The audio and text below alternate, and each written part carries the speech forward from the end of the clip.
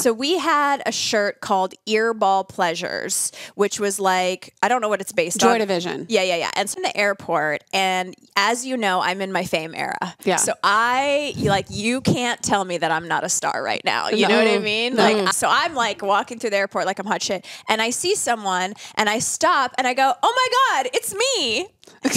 and they were wearing. Oh no, no, they were wearing, a Joy Division. I swear to God, it said Earball Pleasures, and Oh, I was like, "Hey," and they were like, "Hey," and I was like, "Oh."